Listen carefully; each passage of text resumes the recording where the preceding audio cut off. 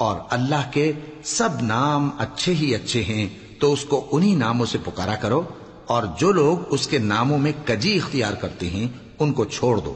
वो जो कुछ कर रहे हैं अनकरीब उसकी सजा पाएँगे।